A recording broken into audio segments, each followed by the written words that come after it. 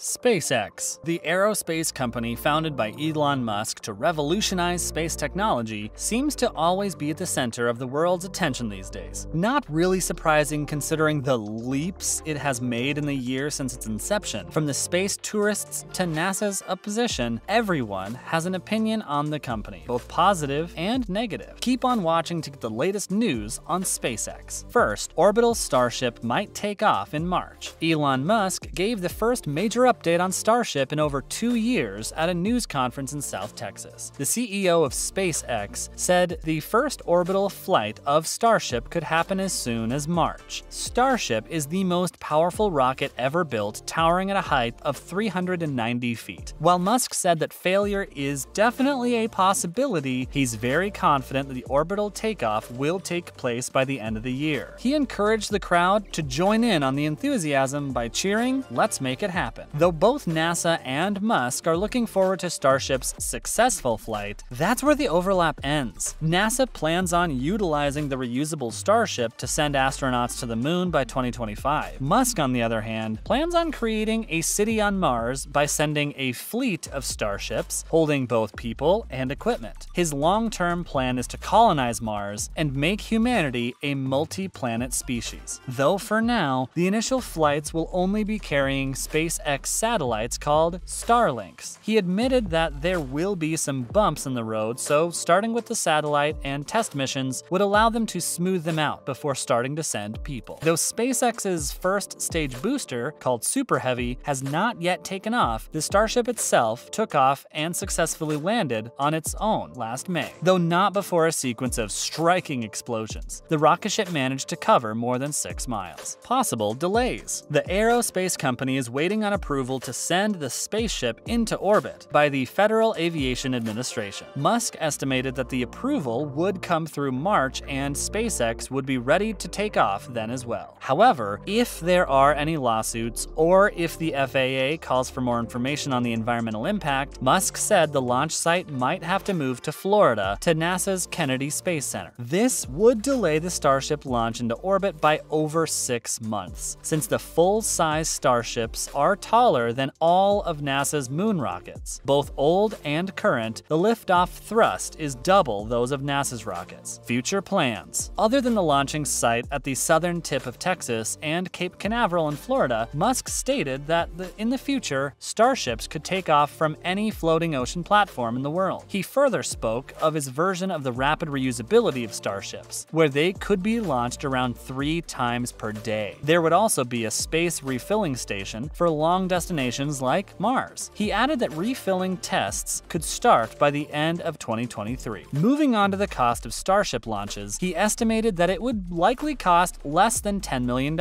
It could even cost down to a couple of million dollars if there's a high fly rate, as that would bring down prices. According to him, these prices are ridiculously good compared to current space standards. Starship already had a slew of waiting passengers for a flight around the moon. Bought by a private customer, a Japanese entrepreneur will be taking around a dozen artists along with him. Musk hinted at more potential buyers, saying there would be announcements in the future. In the past, SpaceX has depended on their smaller Falcon rockets to send astronauts, cargo, as well as satellites for NASA to the International Space Station. Bought by a billionaire, it had its first private launch in September. The next one will be at the end of March, en route for the space station. It'll be hosting three businessmen paying $55 million apiece. NASA also has exciting plans for the Starship, specifically their Artemis program. This program aims to create sustainable means for human presence around and on the moon within the next 10 years. Though, as we mentioned before, the first crewed moon landing under the Artemis program won't be taking place earlier than 2025, despite the agency initially aiming for 2024. Past troubles with launch. SpaceX had originally planned to launch Starship on its first orbital test by January or February, but it was dependent on the FAA completing their programmatic environmental assessment of SpaceX's launch site in southern Texas's schedule. Musk had been hoping to launch a dozen more Starships after the planned launch in January. Unfortunately, the assessment couldn't take place on December 31st as planned, as the FAA pushed the date of the PEA back to February 28. The reasons given were based on the number of comments on the draft PEA along with discussion efforts with consultation parties. They further mentioned there were more than 18,000 comments given on the draft PEA released on September 17. If the next Starship launch goes according to plan, the Super Heavy should land in the Gulf of Mexico briefly after liftoff. The Starship, on the other hand, will take one round around Earth and splash back in the Pacific Ocean, near the island of Kauai in Hawaii. Other SpaceX news rocket predicted to crash into the moon, not from SpaceX. Part of a rocket that is headed to crash on the moon could be a booster from a Chinese launch and not from SpaceX as considered previously. Astronomer Bill Gray spoke about a booster from a SpaceX Falcon 9 rocket in his blog, Project Pluto. He predicted that the booster, which had been floating around for nine years, may crash on the moon. But last week, he provided an update on the situation and said that new evidence showed that the unknown object was a rocket booster from China's Chang'e 5T1 launch from 2014. He decided on the change after he received an email from John Giorgini, an engineer at the NASA Jet Propulsion Laboratory who works on tracking active spacecraft. Giorgini, referring to Gray's original post, said that JPL's Horizon system showed that the trajectory of SpaceX's spacecraft DSCOVR did not quite go that close to the moon. This led Gray to search for other past launches that could have been responsible for the object and found that the likeliest suspect was China's Chang'e 5T1. Though he stated that the evidence is technically circumstantial, he is mostly convinced. So according to him, the object that is set to crash on the moon on the 4th of March 2022 is from China's Chang'e 5T1 rocket. 40 SpaceX satellites set to plummet to Earth due to a geomagnetic storm. A very strong geomagnetic storm has sent around 40 of SpaceX's Starlink satellites plummeting back towards Earth. On February 3rd, the company launched a Falcon 9 rocket holding 49 satellites from the Kennedy Space Center in Florida. The geomagnetic storm came a day later and pushed around 40 satellites back to Earth, where they will burn up in the atmosphere. The 49 satellites were orbiting at a distance of around 130 miles from Earth. The low orbit was initially for ease in case of a post-launch failure, so the satellites could be disposed of. Unfortunately, that also left them vulnerable to geomagnetic storms. SpaceX stated that the atmospheric drag had increased by 50% more than the other launches due to the storm. Though they attempted to put a stop to the quick deceleration of the satellites, the drag was too intense. But they reassured the public that their satellites are made to disintegrate on re-entrance. SpaceX tourists plan to try spacewalking during flight. After flying to this International Space Station and orbiting Earth in their space capsule for three days, a group of space tourists would like to attempt the spacewalk. Spacewalking is one of the most dangerous things you can do in space. As this year's ends, four private astronauts might launch to space in SpaceX's Crew Dragon capsule. One of the four astronauts will be billionaire Jared Isaacman, who was a part of SpaceX's initial space tourist mission last year. Sometime during their five days orbiting Earth, at least one member will be exiting the spacecraft to attempt a spacewalk. This will be the first time in history that a non-government astronaut will attempt a spacewalk. According to Sandra Magnus, a retired NASA astronaut, spacewalking is the riskiest thing they do as astronauts. She further explained that the person doing the spacewalk is in a one-person spaceship and is attached to the outside of the vehicle by a wire. SpaceX and Mr. Isaacman announced that this mission will be the first in a program by the name of Polaris. They said that the purpose of Polaris is to